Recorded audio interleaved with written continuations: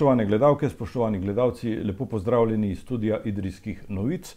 Gost današnje oddaje aktualno je župan občine Cerkno, Gašpr Uršič. Pozdravljeni. Lepo pozdravljeni. Povejte nam, gospod župan, kako deluje vaša občina v teh zaostrenih razmerah? Glede na razmere je poslovanje občine, bom rekel, nemoteno. Pač vse tekoče zadeve uspemo redno procesirati. Edina razlika je pač, da smo tako kot večina upravnih enot in drugih občin pač omejili te fizične obiske na občini, smo pač, bom rekel, zaklenjeni za fizične kontakte v večini primerov. pa pač sodelavcem smo, smo omogočili delo od doma, to moram reči, da poteka v redu, pač te tehnološke možnosti, ke so zdaj odprte, jih pač koristimo, da bi bilo čim manj stika tudi med sodelavci.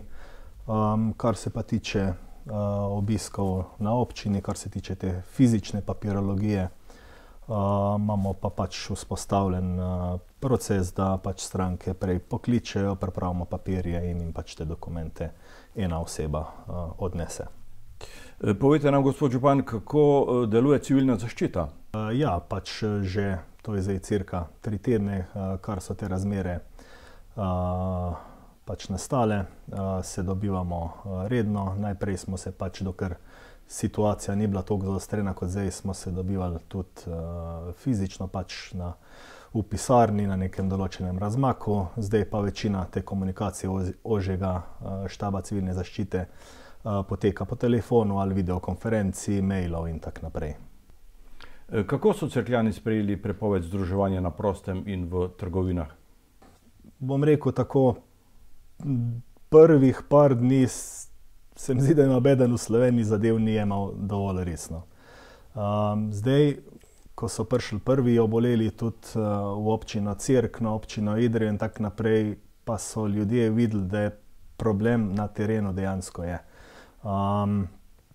Tako da ljudje se še kar striktno držijo navodil vseh predpisanih strani države, občine in tako naprej. So posamezni primeri, ugotavljamo, da se recimo družijo na nekih zasebnih igriščih ali pa privat zabavah in tako naprej, ampak to je res na minimumu. Tako da me veseli, da vsaj večina ljudi vse te odredbe spoštuje, in prosim, da jih spoštuje še naprej. Izdali ste tudi nekaj občinskih uredb. Katere? ja, na splošno smo pač sledili navodilom strani države, to je, se pravi, smo najprej prepoved kurjenja, zadrževanja na javnih mestih, ampak te stvari, ke smo jih pač usklajevali tudi z občino Idrija, so nekako potekale vzporedno s temi državnimi ukrepi. Tako da ni bilo, bom rekel, nobenih posebnih lokalnih ukrepov, ki bi bili pa izven tega, vsaj zaenkrat. Zdravstveno postajo v Cerknem ste pred dnevi zaprli. Med občani je bilo zaradi tega kar nekaj slabe volje. Ja, to je res. Bilo je nekaj slabe volje, ampak naj še enkrat poudarim, gre za odločitev strokovnega vodstva zdravstvenega doma, kateremu pač kot župan moram zaupati. glede na vse predstavljene scenarije različnih potekov, koordinacij pač posameznih zdravstvenih delavcev je bila to edina možnost, da pač zagotovimo kolikor toliko dolgoročno oskrbno pač na področju zdravstva za čim daljše obdobje. Največje tovarne v občini delajo. ja, tako Eta kot tudi ostale večje firme na Idrijsko-Cerkljanskem delajo naprej. Bom rekel, ne delajo pač v normalnih pogojih, delajo pač z neko zmanjšano proizvodnjo, zmanjšano število delavcev, ampak delo gre naprej. S temi večjimi gospodarskimi družbami smo, tako kot z občino Idrija in z ostalimi štabi civilne zaščite, dnevno v kontaktu. vsa ta podjetja so tudi zagotovila ustrezne ukrepe, da ne bi prišlo do kakršnihkoli okužb ali pa možnosti prenosa nekih okužb, kontaktov in tako naprej. Uh, tako da pač delajo z manjšeno kapaciteto, ampak delajo. Uh, in mislim, da je to v tem momentu um, zelo pomembno, da delajo, dokler delo je, ker ne vemo po tej situaciji, kaj se bo naprej uh, dogajalo z gospodarstvom. Imate kaj težav z zagotavljanjem osebne zaščitne opreme? Uh, ja, v tem momentu uh, pač imamo srečo, da so tiste bom rekel, najbolj nujne stvari uh, prispele, zaščitne maske, dezinfekcijska, dezinfekcijska sredstva in tako naprej, uh, rokavice. Um, vse to je prišlo podobno kot pri ostalih sosednjih občinah, pač po naših lastnih kanalih.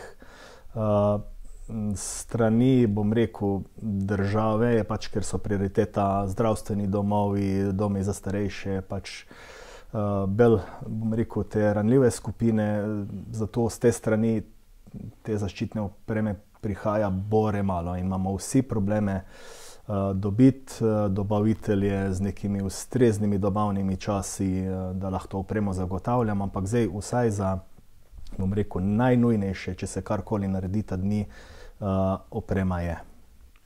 Vsi vzgojno-izobraževalni zavodi, to pomeni šola, vrtec, so ta trenutek zaprti. E, občane zanima, kako bo s položnicami.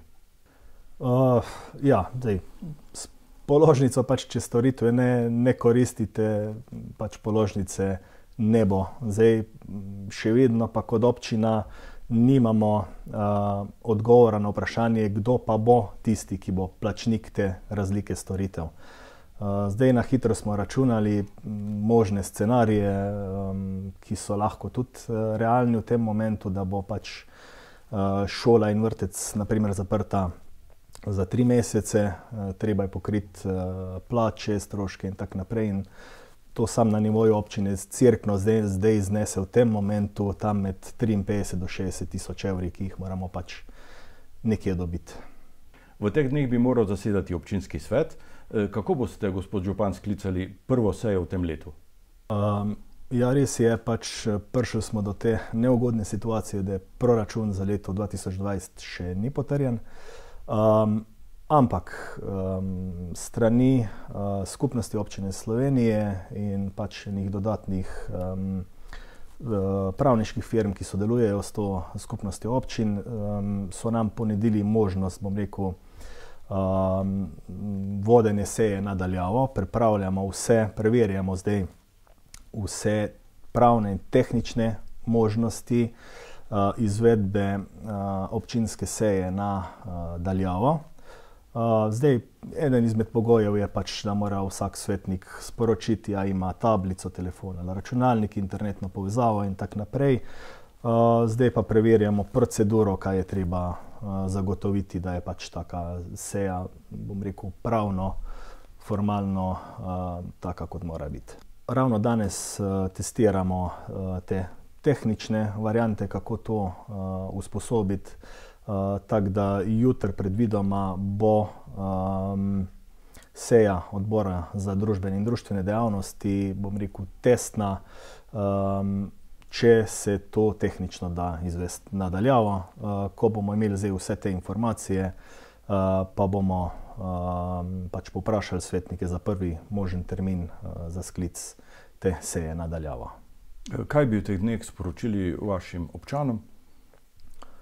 Um, predvsem naj, naj vas uh, ne zavede, da je pač število obolelih uh, nizko, zadeva se lahko uh, dokaj hitro spremeni. Zato še enkrat pozivam, da pač greste, bom rekel, od doma po nakupih ali karkoli res, sam v tistem naj, naj, najnujnejšem primeru.